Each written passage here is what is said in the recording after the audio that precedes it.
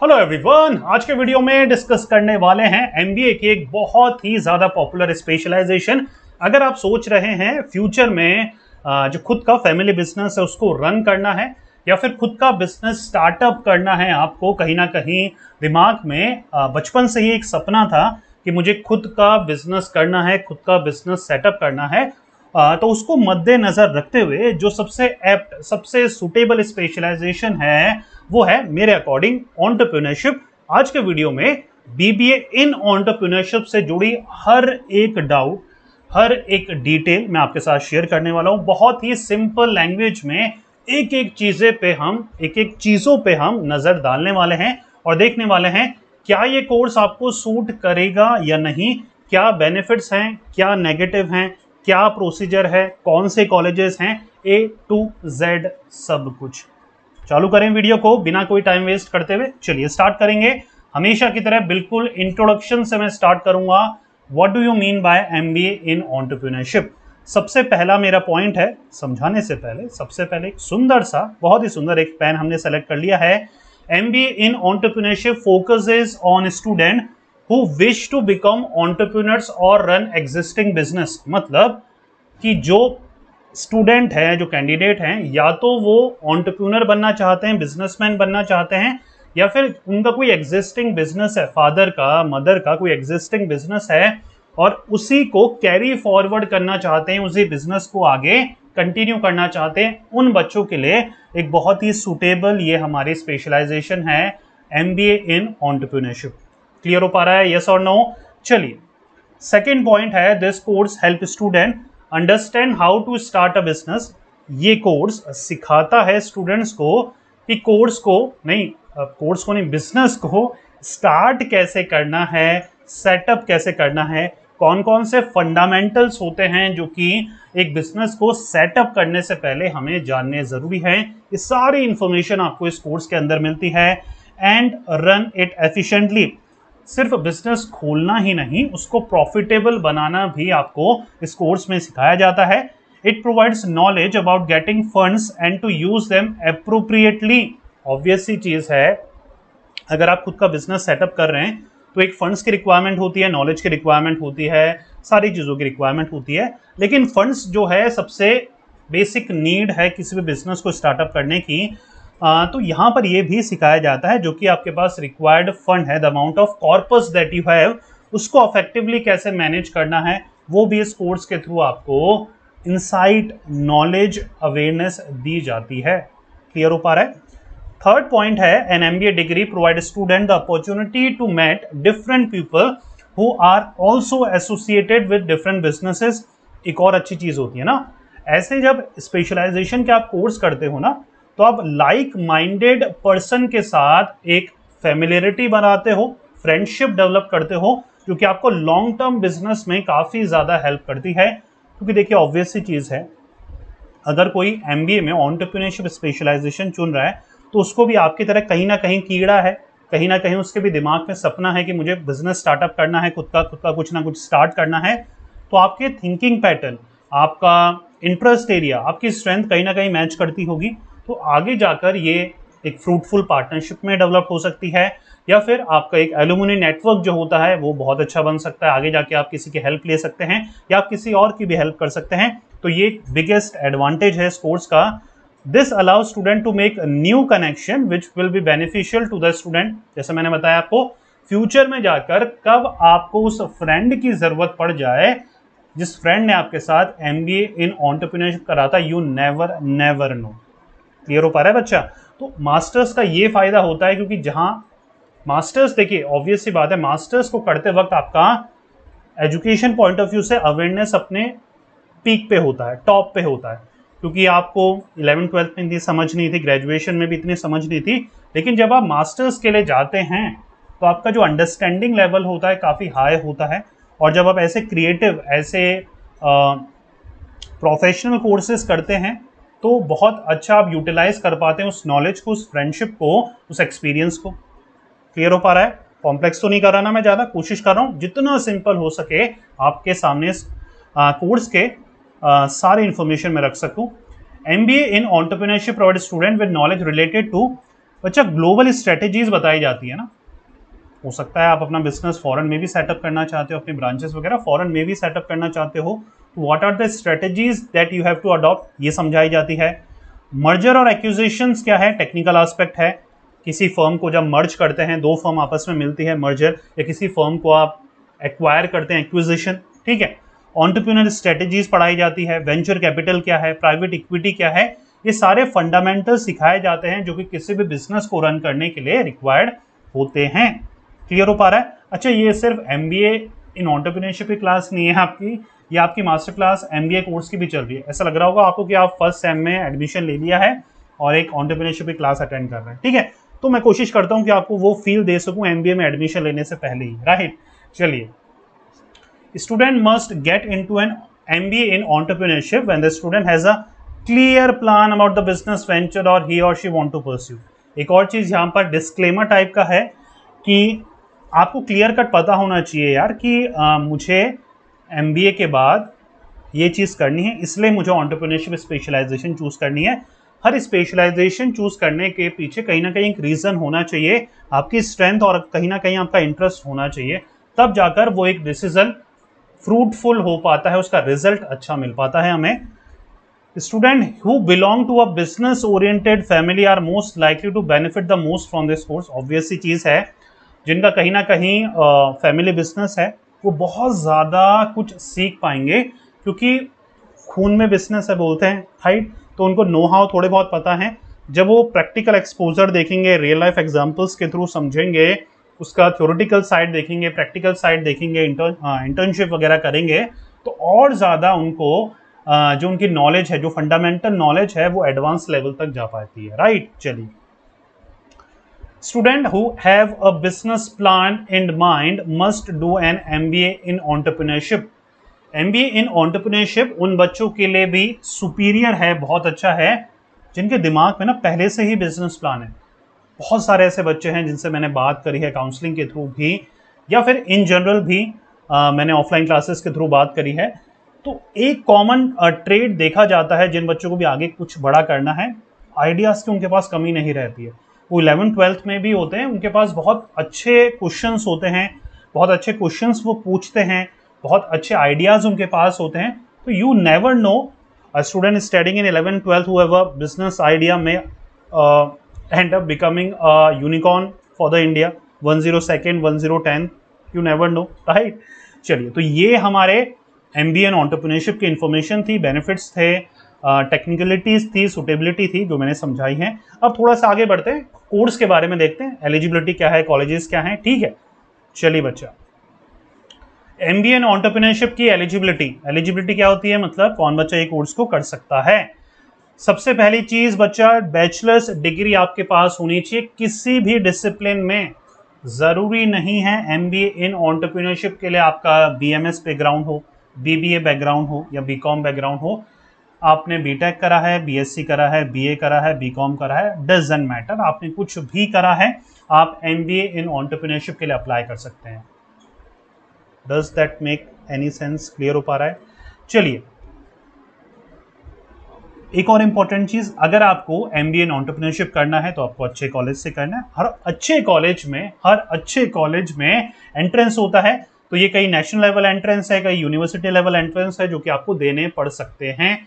अगर आप M B A in entrepreneurship किसी टॉप क्लास इंडियन कॉलेजेस से करना चाहते हैं, और हमेशा की तरह वापस से डायलॉग रिपीट करूँ एम बी ए करो तो मेहनत कर कर एंट्रेंस को क्रैक कर कर, अच्छे कॉलेज से करो, नहीं तो इतना ज़्यादा पैसा कहीं पे इन्वेस्ट करना बेवकूफ़ी होती है, जहाँ पर आरओआई नहीं है। मान के चलिए एक लोकल कॉलेज से कर लिया, दस लाख रुपए मिनिमम है किसी भी कॉलेज में एमबीए करने के, वहाँ से आपने दस लाख रुपए में एमबीए कर लिया। प्लेसमेंट के नाम पे ज़ीरो है, कुछ भी प्लेसमेंट नहीं मिली और you end up having a job of rupees ten thousand per month after finishing your M B A does that make any sense कोई फंडा क्लियर हो पा रहा है? दस लाख का कोर्स कर कर दस हज़ार पर मंथ की जॉब करना? नहीं ना? आप भी नहीं करना चाहते तो बेटर क्या है? मेहनत कर कर, जी जान लगाकर सेकेंड ईयर से ही स्टार्ट कर दो अपने ग्रेजुएशन के एम एंट्रेंस की preparation that's the right time मुझसे पूछो सर राइट टाइम क्या है एम एंट्रेंस की प्रिपरेशन का? Second year of your graduation क्योंकि फ़र्स्ट ईयर में आपको एडजस्ट करने में नया है कॉलेज नया है सब्जेक्ट नए हैं एडजस्ट करने में टाइम लगता है. यस yes, चलिए बच्चा आगे बढ़ते हैं. एज वगैरह कुछ नहीं है ठीक है? एज की कोई प्रॉब्लम नहीं है इसमें. आप किसी भी एज में कर सकते हैं. ज़्यादातर कॉलेजेस अच्छा वर्किंग एक्सपीरियंस का क्या पॉइंट है यहाँ पर? अगर आपके पास वर्किंग एक्सपीरियंस है ग्रेजुएशन के बाद तीन से चार साल कहीं पर वर्क करा है तो टॉप कॉलेजेस में एडमिशन के लिए आपको ज़्यादा प्रेफरेंस देते हैं जिनके पास वर्क एक्सपीरियंस है दैट्स इट ठीक है बैचलर्स में 50 परसेंट मिनिमम आपको लाने हैं एंट्रेंस क्रैक करना है और एडमिशन लेना है दैट्स इट अब पढ़ाया क्या जाता है? थोड़ा सिलेबस भी मैं डिस्कस कर लूँ। फंडामेंटल्स क्या है ऑन्टरप्रीनरशिप के? सोशल ऑन्टरप्रीनरशिप क्या है? बिज़नेस एनवायरमेंट क्या है? Internal as well as the external principle and practices of management क्या है? कौन कौन से प्रैक्टिस ओनर्स हुए हैं जिन्होंने मैनेजमेंट प्रिंसिपल्स दिए हैं, जो कि उस समय भी एप्लीकेबल थे, आज भी एप्लीकेबल हैं? मार्केटिंग के प्रिंसिपल्स क्या हैं? अकाउंटिंग एंड फाइनेंस क्या है? ऑन्टरप्रीनियर फाइनेंस क्या है? टैक्सेशन क्या है? ऑपरेशंस और प्रोडक्शन क्या है? प्रोजेक्ट मैनेजमेंट क्या है? Entrepreneurship process and behaviour operation management corporate communication ethics diversity industrial marketing legal aspect corporate entrepreneurship ये कई ऐसे सब्जेक्ट हैं जो कि आपको पढ़ाए जाते हैं। चार सेमेस्टर होंगे, दो साल में आपके, दो साल का एम बी एन है, जहाँ पर हर सेमेस्टर में छः से सात सब्जेक्ट जहाँ पर चार के पाँच चार से पाँच थ्योरिटिकल दो के नियर अबाउट प्रैक्टिकल रहता है। पाँच नियर अबाउट थ्योरिटिकल दो के नियर अबाउट प्रैक्टिकल प्रैक्टिकल में भी क्या? स्टैट्स अकाउंटिंग और फाइनेंस दैट्स इट क्लियर हो पा रहा है? Creativity and innovation in entrepreneurship leading changes in family business emerging market क्या है और रिटेलिंग और फ्रेंचाइजिंग मॉडल क्या होता है, उसके बारे में भी आपको डिटेल इन्फॉर्मेशन दी जाती है राइट अब मैंने बच्चा यहाँ पर कई एब्रॉड कॉलेजेस भी लिस्ट करें आपके पास, क्योंकि कई बच्चे बोलते हैं कि सर हमें एम बी एब्रॉड से करना है so what are the good colleges that I can do my M B A from abroad तो ये हमारे कुछ ऐसे कॉलेजेस हैं जिसमें आप ऑन्टरप्रिनरशिप एम बी ए के थ्रू फ़ॉरन से कर सकते हैं, जिसमें स्टैनफोर्ड है एम आई टी है, हार्वर्ड है इम्पीरियल कॉलेज है कॉपनहेगन है, पेन है, Wharton I E business school है कैम्ब्रिज है आई ई बिज़नेस स्कूल है ऑक्सफोर्ड है राइट तो ये top ten M B colleges हैं ऑल ओवर इंडिया में।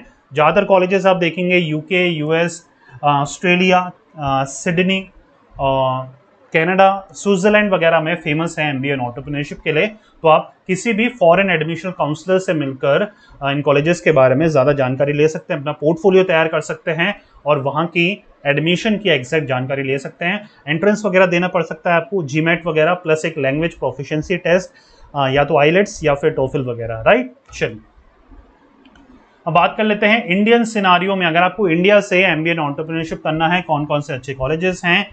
चलिए entrepreneur development institute of India Gandhinagar D Y Patil Mumbai university Delhi business school Delhi Amity business school Noida enterprise development institute Kolkata I M Bangalore NIMS Mumbai Tata institute of social science Mumbai Xavier institute Bangalore Nirma institute Ahmedabad ये सारे top के M B colleges हैं बच्चा जहाँ पर आप M B N entrepreneurship कर सकते हैं। सबके सब ज़्यादातर एंट्रेंस लेते हैं। इनके एंट्रेंस की तैयारी करनी है और इन एग्जामिनेशन के थ्रू एग्जामिनेशन क्रैक करके आप इन कॉलेजेस में एडमिशन लेते हैं। Lal Bahadur Shastri institute of management national science and technology entrepreneurship development new Delhi Symbiosis Maharashtra Jamia Millia Islamia new Delhi institute of marketing and management I M M new Delhi right तो ये ten to fifteen colleges मैंने यहाँ पर list करे हैं, जिनमें आप admission ले सकते हैं। और रिसर्च के लिए आप इन कॉलेजेस का नाम गूगल में डालिए। सबसे पहले इन्हीं कॉलेज की वेबसाइट खुलेगी राइट क्लिक करिए और जितने भी कोर्सेज वगैरह जो भी आपको करने हैं, इस इंस्टीट्यूट से फ़ीस देखिए लोकेशन देखिए विज़िट करिए काउंसलर से बात करिए, फिर एक फर्म डिसीज़न लीजिए और ये भी देखिए कि कौन सा एंट्रेंस से लेते हैं, कैसे आपको तैयारी करनी है। Is that make sense yes और नो चलिए, आगे बढ़ते हैं। कौन कौन सी जॉब्स अवेलेबल हैं? सर, हमने ये कोर्स तो कर लिया।